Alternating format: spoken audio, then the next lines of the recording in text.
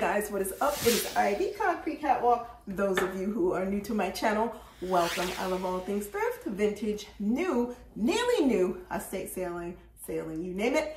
I love it. to Tima Catwalk with you. Welcome back to a new video this Sunday. Those of you who are newly subscribed, thank you so much for coming along together on this journey. Some things that I want to share with you, little luxuries. Little luxuries are some things that I think you would want to pick up to pamper and spoil yourself. Some of these things are consumable, things that you can use, and some of these things are to wear. So I'm not gonna drag this all out. As you saw from the title, do not, don't try to one up me. It is a conversation that I overheard. Always share with you guys when I hear conversations that tickle, ting, ping, bother me, and I wanna get your opinion about it. This is our book, our black book of notes, when there's some things I really want to talk to you about. First thing that I want to share with you with regards to little luxuries are the sunglasses that you saw me in in the intro. I picked these sunglasses up at Walmart. Walmart is not the focus. The focus is the fact that these are a throwback brand, which is Foster Grant's. Simplistic, smoke black, sunglasses. I'll put this here so you can screenshot it if you want to run in Walmart to try and find this little luxury. These look way more expensive than the $24 that I paid for them. Take yourself to Walmart to see if you can't find these sunglasses keeping in the theme of sunglasses. Pair number two. I happen to be in Saks off Fifth. These are Hugo Boss sunglasses. They came in this all leather carry sunglass case, matte black aviators. And I'm gonna hold them up so that you can see them.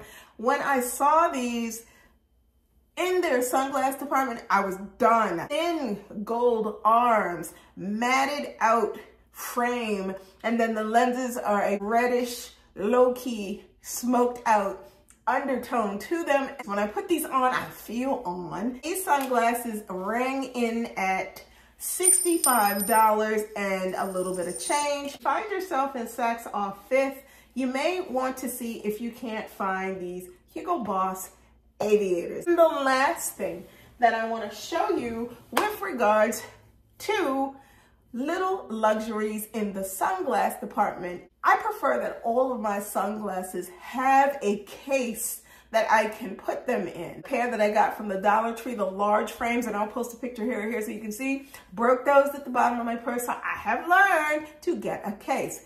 One particular case is a pink velvet eyeglass case by Miu Miu. So I happened to find myself on eBay. I picked up this. It is the perfect mauve pink and I'm gonna open this up inside and out, big enough to fit jumbo sunglasses. If you want to screenshot this, I picked this up on eBay for all of $15. It just feels so luxe. It just feels so bouge. Moving on, we get to a pair of slip-ins. They are by Mud, picked up in Walmart. These rang in at about $25. You can get into Walmart to find these. These are well worth it. I'm gonna hold these this way so you can see. I'll let you look inside to see the soft fuzzy lining. They come in black, but this is the color. These are a little luxury that you may want to splurge in. They look really good. They do not look cheap. They don't feel cheap.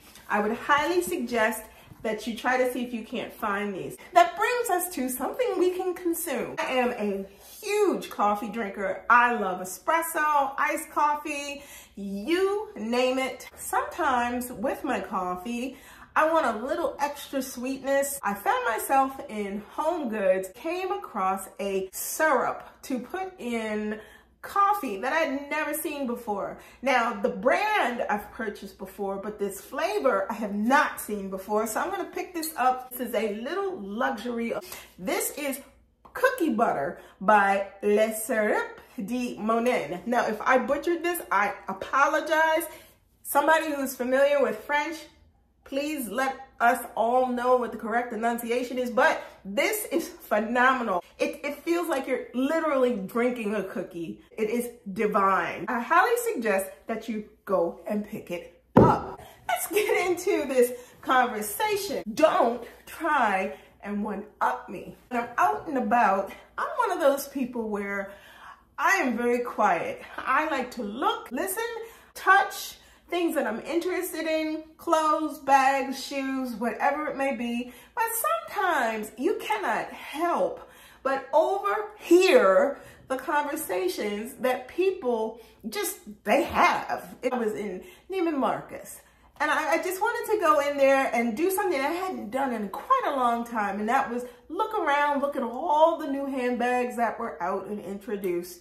Why not? Touch, feel, see, maybe, who knows? In the mix of doing that, it's always chatter, always people talking, talking. So I happened to overhear a discussion that was going on between a salesperson and somebody who was interested in bags. One person, one salesperson, and so the dialogue ensued. Person happened to pick up I'm not to name the bag. I'm just to be, but it was expensive. The first thing out of the salesperson's mouth was, oh, I have that bag. Like, okay, yeah, okay, great. We, we get it. Beautiful bag. So the person acknowledges, yeah, it is beautiful piece, moves on to the next and looks around. It goes. Person comes across another bag and the salesperson says again, oh, yeah, you know, that bag too. I have that bag too. I, okay, let's stop right there. I have to say it the way I would would have said it where I am that person's shoes of the customer. And I would have politely asked them to stop. I'm gonna say this.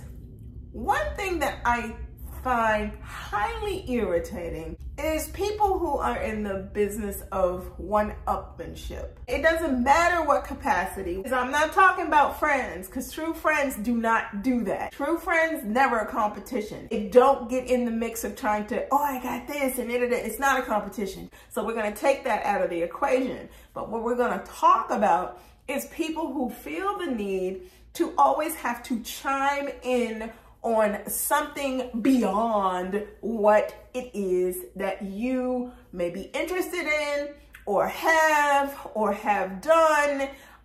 I find that highly rude. And I also find that, that people who do that, there is a level of insecurity and there's also a level of jealousy because were it not, it wouldn't be a circumstance where the person would have to keep saying this and this and this. And I'm to take it beyond just that interaction that I overheard, level it on the playing field so we all can learn from people who do this. Because we've all encountered people who have put us in a position where you're just having a normal conversation and you raise something that you've done. Oh, I've traveled to Paris. Oh, I've done that too. Oh, I did it. Oh, I've done that too. I've got that. I got that. Stop. Stop it. And I'll say this to you guys, just being real. When I start hearing a conversation that I'm having with just in general, slide in the direction where I feel like a person is trying to one up because I say this and they've done extra. I say that and they've gone down the block. It diminishes the desire to even want to continue on a path of having any type of a dialogue with people who do that. In terms of how you try to deal with people who do that, I always say, let me just kill them with kindness. Because what I do is I just shut down. I become very quiet. I just listen to the dialogue that they are delivering and I don't interject at that point because ultimately what am I trying to do? I am trying to remove myself from the conversation and remove myself out of that particular situation or that person's presence. I don't think that anybody is trying to brag when they talk about experiences that they've had. Meaning, if you're coming from a place of humble, I'm just sharing with you what I've done, we're just having a general conversation. There's a big difference between bragging and one upping. I notice that, especially in the whether it be luxury handbags or luxury clothing, that that tends to up a lot among people. The biggest thing that I always think about in the back of my mind, I, I didn't ask you whether or not you own this or you have that.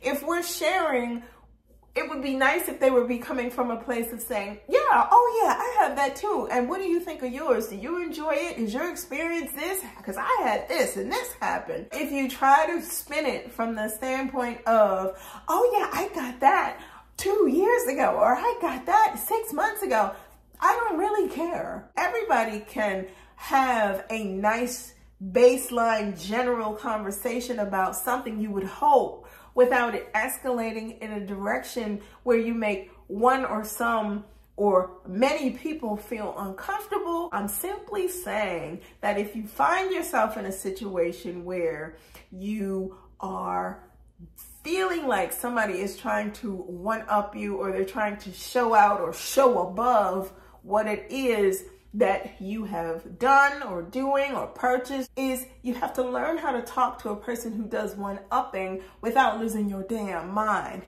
Because whenever a person feels that they have to always stick their two cents in, just remember to remind yourself that that other person, they may be suffering from low self-esteem and or insecurities and they might feel a little uncomfortable or a little out of place because you're doing things that come naturally and because you want to do those things, not because you have a need to one up or try to over impress. So you guys, there you have it. Those are the little luxuries that I wanted to share with you. Make sure you run and check those out if you have the opportunity to. Don't forget, the giveaway is still open. It closes Sunday, November 10th at midnight. So please go back and check out the previous videos that I posted for all of the specifics and the bags that are going to be a part of the giveaway. There are two bags, so go back and watch those videos. They will also be tagged at the end of this one. So if you have any questions or you're still trying to make up your mind about which bag you want, you can go back and take a look at those videos. The giveaway winners will be announced on Sunday, November the 17th. Again, the giveaway closes Sunday, November the 10th at midnight. So you have plenty of time to look at those videos, make up your mind about the bag, like, comment, and subscribe. Tell me why you want which bag and the reason, or just make it simple. Hey, I want this bag. However you choose to do it, but you have to like, comment, and subscribe on any one of my videos up until the 10th and then the lucky two winners will be announced on Sunday, November the 17th. It is that simple. I don't make things complicated. You guys know I love you all. My responsibility is to give back, to make you guys happy, makes me happy. That is it and that is all. You guys are family and I thank you all for stopping by this week. If you do not want to miss out on anything that I post, you know what to do. Like, comment, subscribe to my channel, tap that and you will receive notifications each time I post a new video. Links to my socials will be in the description box below. Head on over to Poshmark, check out my closet. I am Concrete Catwalk on Poshmark. If you see anything there that you are interested in, feel free to leave me a message there or you can head on over to IG. I am the Catwalks Concrete on IG feel free to DM me there as well if you see anything in my closet that you like. Thank you so much for stopping by this week. Be safe. See you all next Sunday. Bye for now.